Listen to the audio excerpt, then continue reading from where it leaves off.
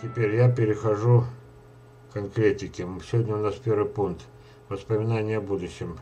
Почему надо об этом знать? Потому что я хочу, чтобы у вас, даже те, у кого были неудачи, пессимистов, быстро-быстро сделать оптимистами. Очень быстро. Я надеюсь, за одну лекцию сделаю, а потом будем уже работать конкретно. Вот. О чем пойдет речь?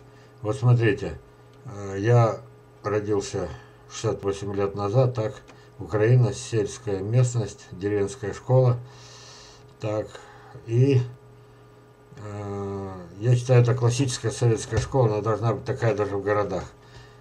Сбор колосков, уборка, э, это наш школ кидали на эту самую уборка помидор, уборка слив венгерок, каша десятое ведро твое. Вот. Много интересного э, наблюдения в лесу. Вот. И потом, естественно, ничего общего не было с садоводством у меня до 34 лет. Переезд в Хакасию. Вот. Э, не подумайте переезд в рай. Страшнейшие ветра. Э, летающие эти самые шифер. Вот. По, по небу, когда ураганные ветра. Вот. Э, ураганы такие, что не было видно рук от, даже от пыли. Вот что творилось, ужас творился. Сейчас все это притихло, но э, занимались мы в дичайших условиях яблонями садами. И, э, видимо, какая-то судьба меня привела к тому, что большая часть моих опытов было положительных, отрицательные опыты при, быстро меня переучили, и сейчас я надеюсь переучить вас. Итак, поехали. Значит, я сейчас листаю. Так, смотрите. Я надеюсь, что этот опыт вам нужен для того, чтобы вы поняли, что каторжного труда не обещаю, наоборот, праздник обещаю. Вот мой первый праздник.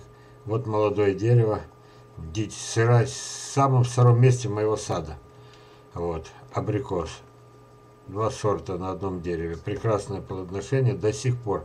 Видели его, э, фильм мой 2018 года? Видели? Видели, как я собирал эти же абрикосы?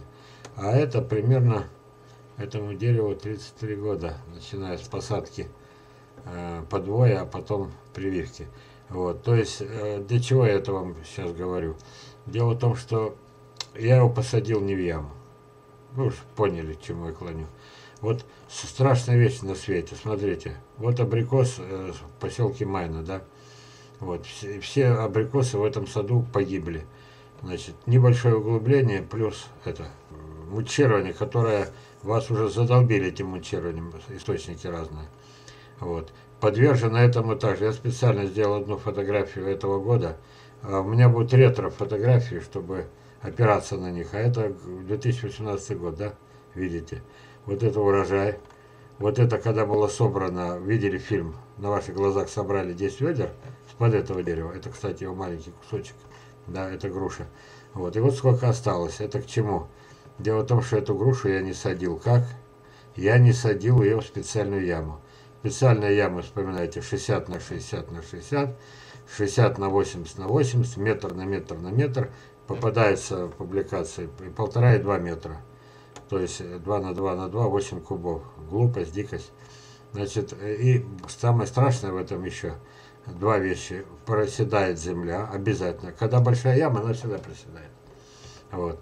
А, а еще бордюрчики вот эти, чтобы вода не разливалась. Корни оттуда уходят со временем, а воду льем сюда, уничтожая дерево. Вот смотрите на мое дерево.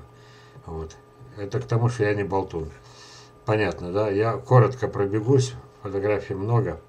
Но это потом...